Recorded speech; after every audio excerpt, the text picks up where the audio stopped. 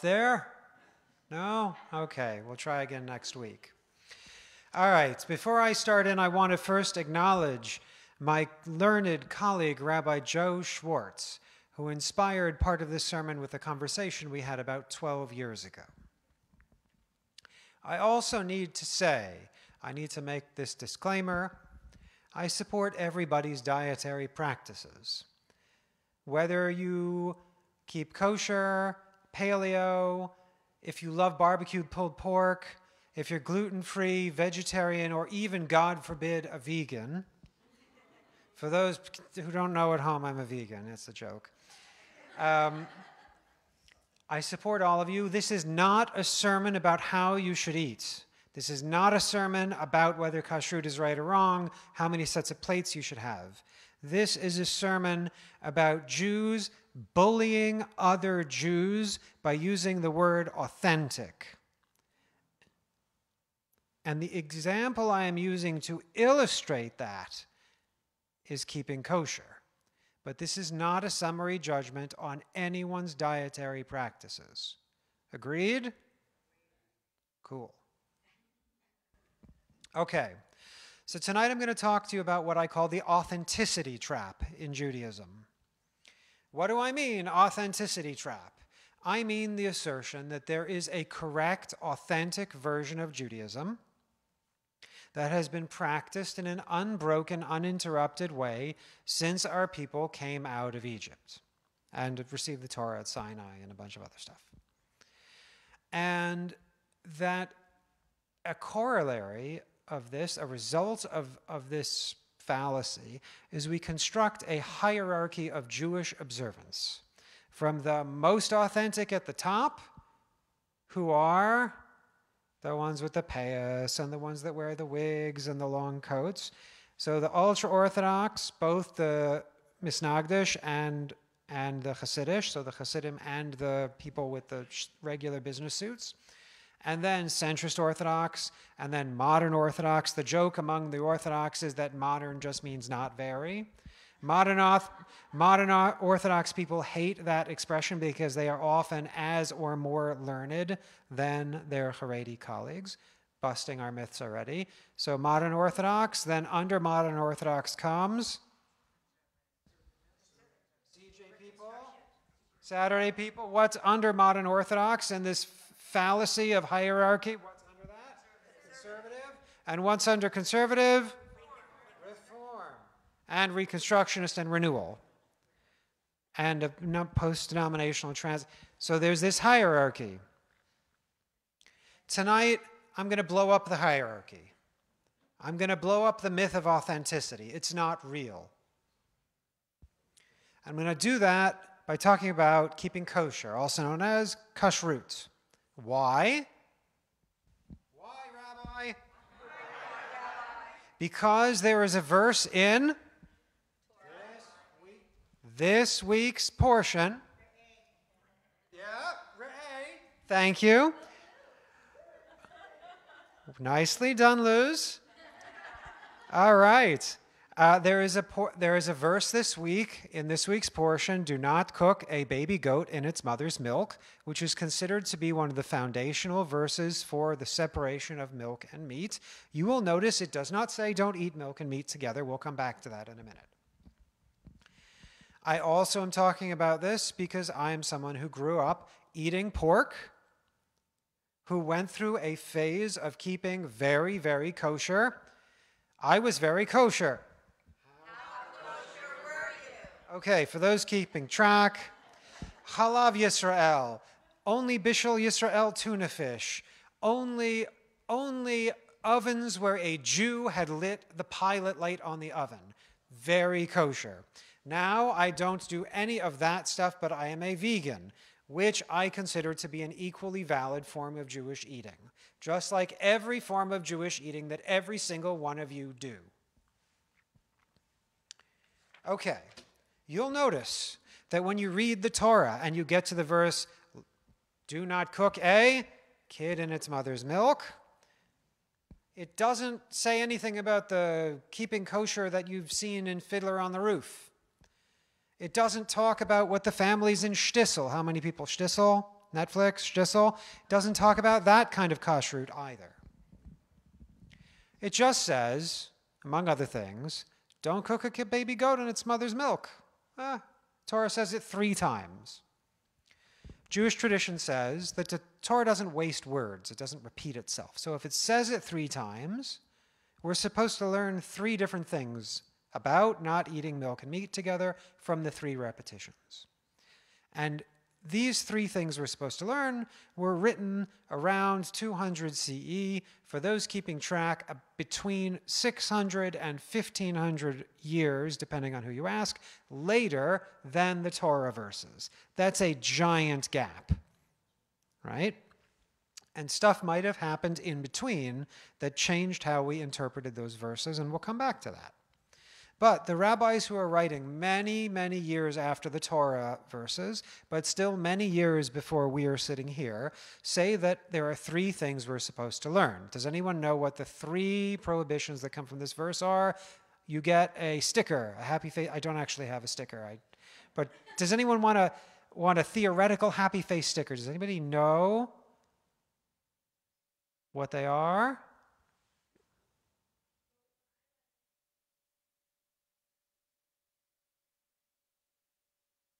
Mm-hmm.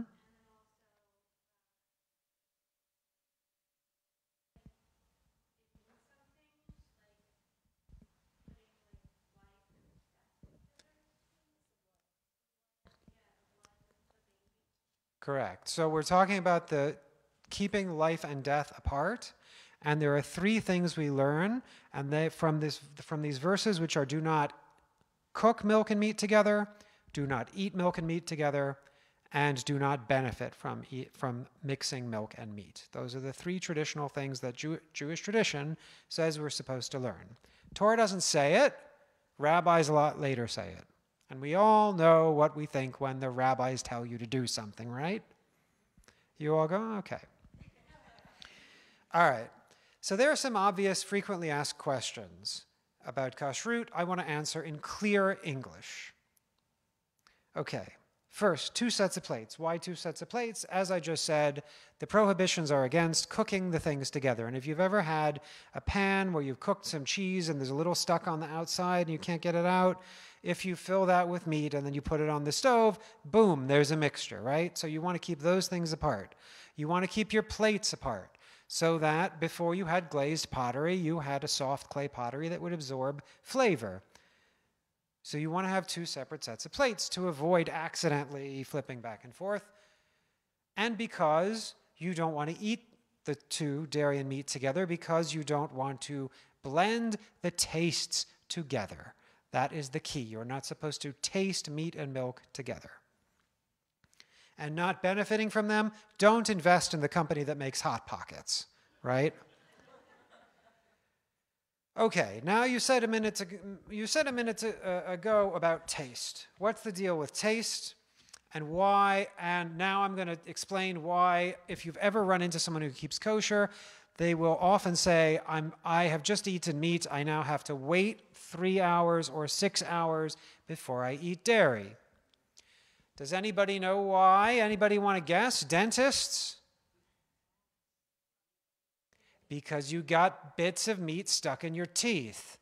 And it takes a certain Ellen gets a dental degree from this. Congrats. And you and so your saliva takes a while to break down the bits of meat. And if you eat ice cream with the bits of meat in your teeth, you will get brisket flavored ice cream. And that is forbidden according to our tradition. Anybody know the workaround? Super obscure workaround. If you want to eat, if you observe these rules and you want to eat brisket and then you want ice cream, anybody know the one loophole? If you're super, no matter how strict you are, anybody know? No, don't water pick. Nope, nope. Not flossing, not brushing. Anybody know? Hmm? Not close. You can do it instantly if you have dentures. If you have, I had a friend, Michael Cohen. He grew up at CBI. He became very, very frum. He took his smicha, his rabbinate exam. And we were talking one day, and he said, You know, there's this trick question. You get extra credit if you know this. So now you all know and you're ready to take the exam. Two sets of dentures a dairy set and a meat set. And you take them out and you switch. But now I'm going to blow up. So I've explained you're kosher, you're more kosher, you're super kosher, you're ultra kosher into the stratosphere. And I've explained there's this hierarchy of observance, where as a Reform rabbi, I'm way down here. And the more authentic Jews are higher up on the ladder. And now I'm going to blow up the authenticity claim. Are you ready? Okay, the Tanakh prohibits the eating of a baby goat and its mother's milk. But it does not say anything about, nothing, not a word as far as I can see, about mixing, about having a cheeseburger It doesn't say anything about mixing meat and dairy. It just says baby goat and its mother's milk, which is pretty narrow. The scholar David Kraemer suggests that remember I mentioned there were centuries between the Torah verses and the Mishnah verses where we got all the like, don't eat this and don't do that and don't do that.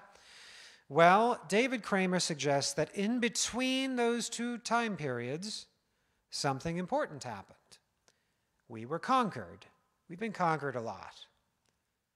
But we were conquered by Alexander the Great, one of the most consequential figures of human history. And Alexander, as he was making his way across the known world, burning and pillaging and conquering and subjugating, he brought with him Greek culture. Although he's from slightly further north, he was tutored by the philosopher Aristotle. This is a guy who's, who's like, he's, he's here and he wants you to be like him. Unfortunately, he died at 33.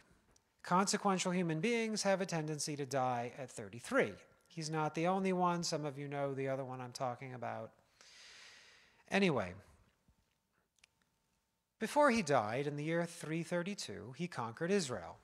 And afterwards, he left us a legacy. He left us one of his generals to rule Israel after him, his general Antiochus the First the law, first in a long line of Antiochid kings leading up to Antiochus the Ninth, the one in the Hanukkah story.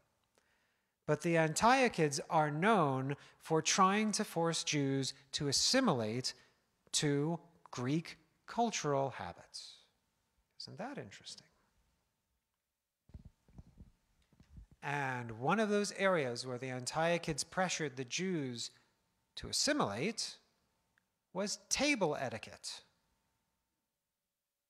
Now, the Torah doesn't say don't mix meat and milk. It just says don't do a kid in a boil a kid in its mother's milk. But Greek culture did have a taboo against mixing meat and milk. Yeah. And it shows up in Greek literature. If you read the Odyssey, the Cyclops eats meat and washes it down with milk because the Cyclops is a herdsman. Herodotus, the great chronicler, the traveler of the ancient world, goes around to different cultures and coming from Greece, and he goes to the hinterlands, and only the most removed barbaric tribes does he describe as drinking milk with their meat. The urban elite of the Hellenistic world, the ones who ruled the Jews and who said you can rule too if you be if you are like us, they didn't drink milk. They drank wine. Because when you are settled in one place and you're not a herdsman or a Bedouin, you can plant vineyards. It takes a long time for vineyards to grow, and you can have a civilization with a wall around it. And all of these divisions between the herdsmen that live out there, the bumpkins, and the urban elite. Kraemer makes the point that this is probably where our prohibition against mixing milk and meat comes from, from the Greeks, from an attempt to be like the dominant society. It wasn't native to Judaism at all. By avoiding simultaneous consumption of meat and dairy, a Jew would be distancing themselves from the accusation that we could ever be one of those barbarians. Should a Jew a Jew, should we, the great dignified people with the one God, should we eat like barbarians? Should we eat our meat with milk? Should we, yeah, sure, we can have meat at public stuff and we can have cheese in its proper place in the meal, but mixing them? Oh, God. If, claim, if what Kraemer says is true, Moshe didn't have two sets of plates. King David didn't have two sets of plates. Bruriah didn't have, uh, Bruriah had two sets of plates. And you may ask, but Rabbi, what about those of us who choose to keep kosher? And I will say, the separation of meat and milk has been part of Jewish tradition for at least 2,300 years. I think it has earned its legitimacy if you wish to continue to do it. However, as I said during the preamble, this is not about how you choose to eat. It is about not allowing ourselves to be bullied by people who consider their Judaism to be higher than ours and more authentic than ours. It turns out when you dig far enough into that authenticity claim, this is the way it was always done. When you dig far enough, all of a sudden that claim breaks down. And things is, are not as unified as they appeared. And this hierarchy of observance, where the guys in the black long coats are up here with the payas, and the women with the things on their with the with the handkerchiefs, and the shaitels are here and modern Orthodox is here, and conservative and Reform Recon Renewal are here. All that collapses as soon as you realize that there is no unified historical truth. But within the Jewish community, we're always finding someone telling us we're bad Jews. Always, all the time. And they're telling us people will come to you, no matter where you are on the hierarchy, you're doing it wrong. But every time someone comes to you and says, I know the true way, I know the authentic way, we should be immediately suspicious because they're making a claim, a claim of dominance over us. That if their way is the correct way, then we have what to learn from them. But I say we should not allow ourselves to be bullied like this anymore. Judaism is complicated. There's no single way to keep kosher. There's no single way to practice Judaism. Each of us should be proud and confident in our own personal way of being Jewish. And keep our kitchens in the way that we feel comfortable keeping them. And if you happen to come across a baby goat, just try not to cook it in its mother's milk. Shabbat Shalom.